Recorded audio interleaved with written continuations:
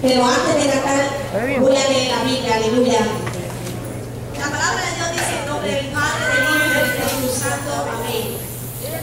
Andando y llorando el que lleva la preciosa semilla, mas volverá a venir con regocijo, trayendo sus gavillas, aleluya. Medite la alabanza, aleluya. Gloria en